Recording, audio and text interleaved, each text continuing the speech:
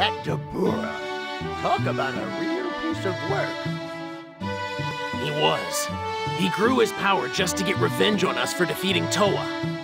I can't believe he got as far as he did, using the rifts.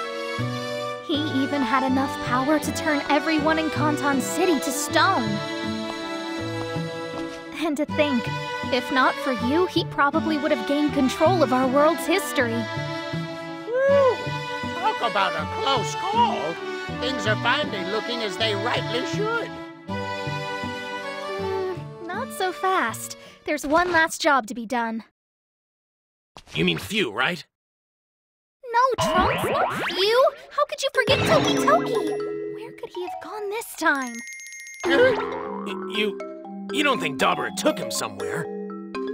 Hard to say with certainty. We were playing hide and seek when Dabura attacked. Then he was gone. It all happened so suddenly. One minute I was in the middle of searching for him, and then nothing. Toki Toki didn't make so much as a squeak. I don't know.